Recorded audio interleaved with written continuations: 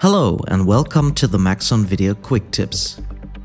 If you want to reposition a joint in your hierarchy and it is apparent it has children, you have the problem that when you move it, the children will move with it.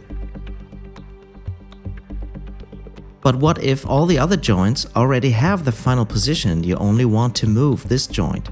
No problem. Simply hold down Ctrl on your keyboard and then move the respective joint.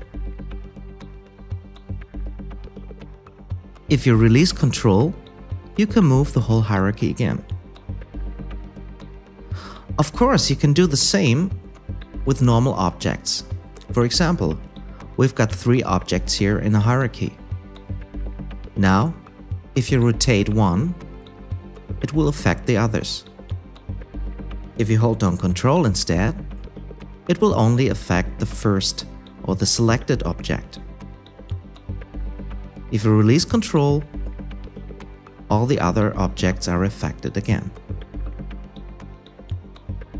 Thanks for watching. For more information on Cinema 4D or other Maxon products, please visit cineversity.com or maxon.net.